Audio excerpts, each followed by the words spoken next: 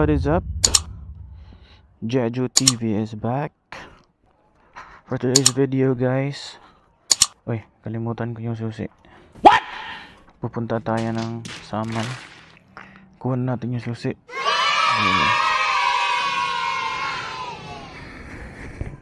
Handa rin muna natin ang motor. Okay, so punta tayo ng Samal kasi actually kahapon ko pa plinano na pumunta ng Samal hindi na ako natuloy. Pero ngayon tuloy na tayo. And good thing is nandun yung kasama natin sa work. Si Dimmer. Sa kanyang pamilya. So magpa-adapt ako sa kanila. Kikiligo lang ng saglit. Tas ano lang uwi na. Konting ride lang kasi hindi ko na hindi ako nakapag-ride this weekend so I'm gonna have a short ride here in Samal alright see ya. Right it's been a while na ano hindi hindi tayo nakapunta ng Samal tagal-tagal na din. Yeah. Let's get it on hanap tayo ng ano gas station. Ito 58 ah.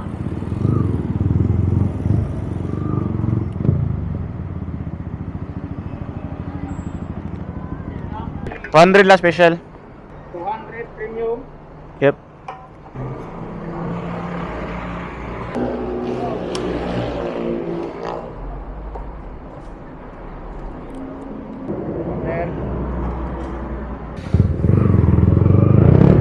Go guys. Malapit lang yung bahay namin sa wharf. Mga ano lang, mga dalawang kilometro. Yan, nandito na tayo. Tsaka kita na natin yung mga motor or sasakyan na nakapila. Grabe. See, ang haba ng pila ng sasakyan. Yan. See, dami-dami guys. Kahit ano, weekdays, grabe pa rin yung pila. How much more sa weekend? Grabe. See, ang haba nito. Imagine, ilang oras or ilang oras pa sila makakapasok. Kung papasok ka ng Samal na tanghali, tapos wala kang planong mag-overnight, wag na lang. Siguro ito mag-overnight siguro sila. If, if ako, if di man ako mag-overnight, hindi na ako papasok. Imagine, gan ganyan kahaba yung pila, tapos tapos uwi ka agad. Tapos another pila na naman pa uwi. That's worst.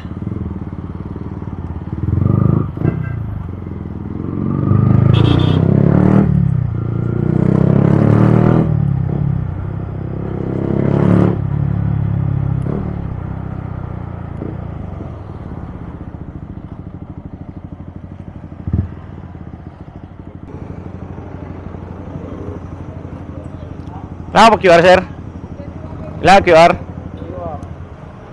Ay, sa may taon pa. Kailangan ba ng QR?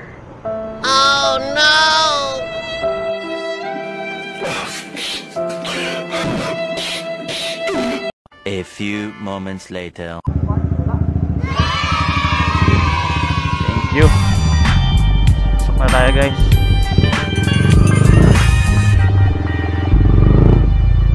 Kuha tayo ng ticket.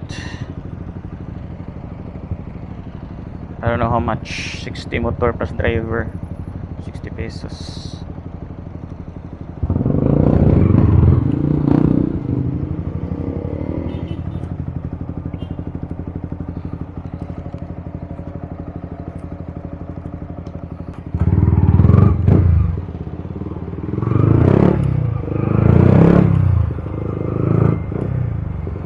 Dito tayo sa motorcycle lane.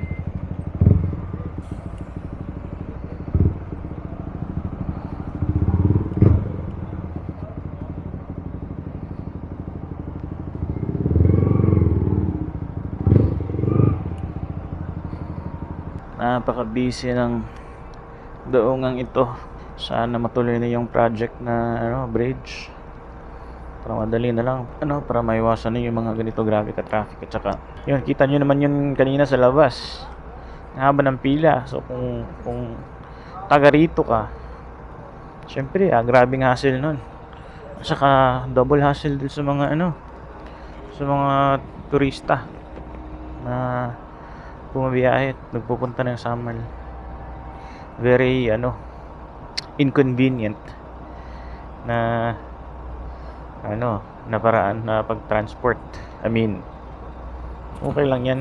If, if maraming daungan eh, ganito dalawa lang sila. And a bridge is a better option talaga. Four lanes na bridge. Kasi labas pasok na yung mga sasakyan. Di bali na ano hingi sila ng toll fee.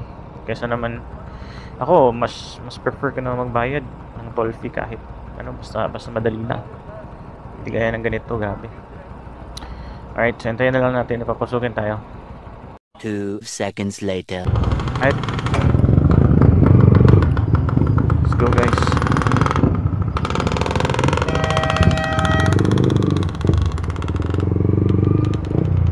Konti lang yung motor.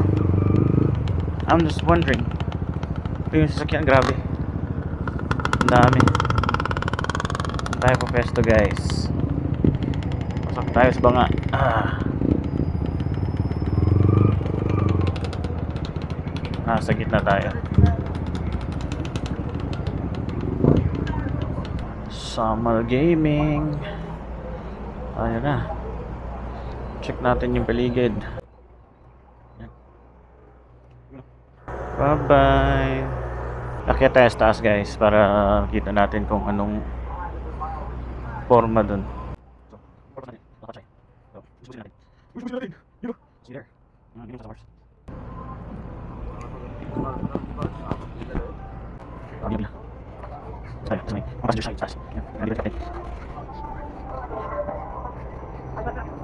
U-turn yung ano, barko or barge. Or ba tayo dito sa likod?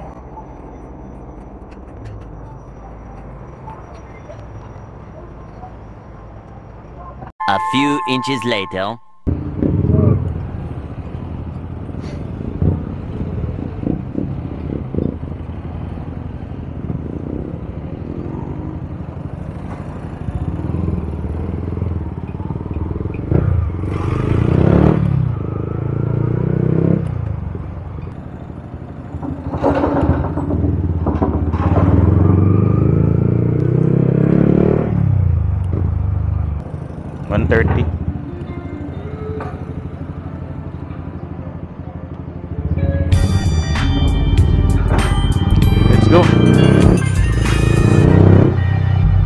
Tayo.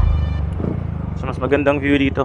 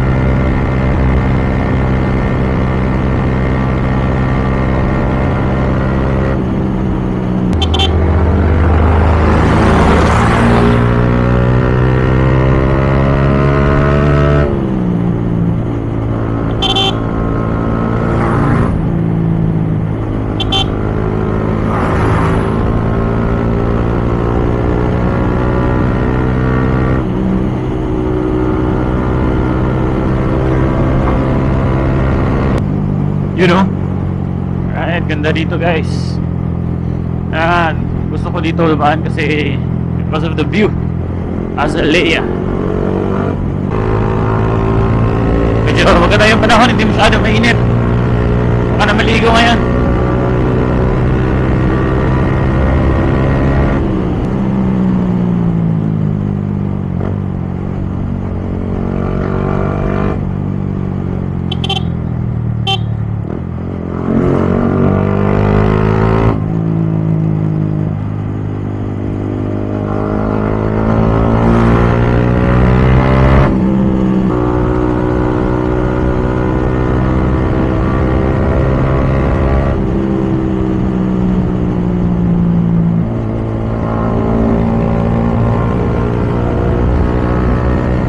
Few inches later. Kanto Peña Plata na tayo.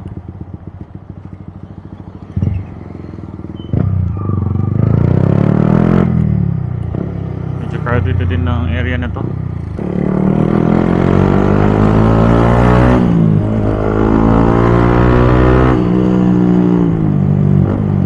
Alright, nasa sentro na tayo ng Peña Plata. May palengke.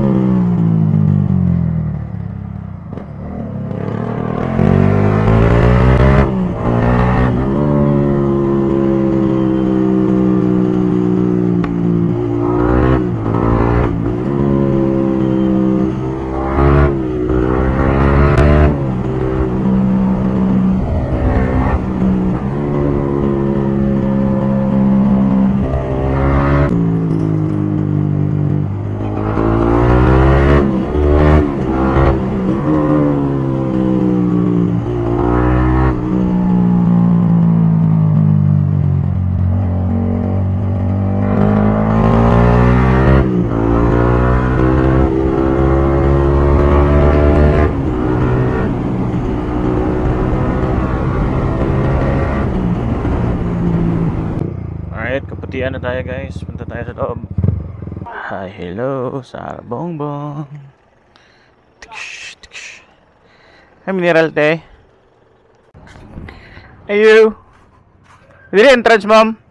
Pwede ko mag-borrow sa ID, sir? Sila 95?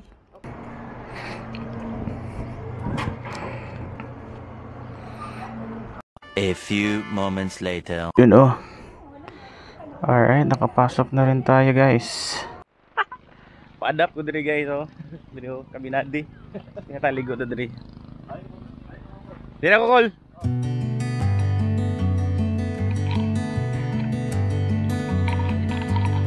Samal Gaming, kapatian. Ito na. Very white sun guys, yeah. Dami palang bato dito. Yan. Harap ng dagat, lamig. Ganito maganda ang dagat dito guys. Samal Gaming.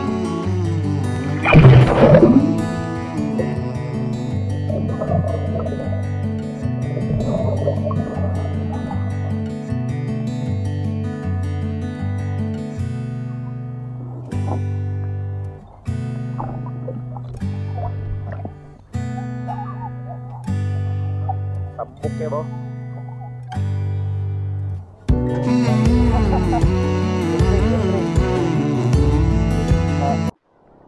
Alright guys, dito ko na lang tatapusin ng vlog. See ya on the next one.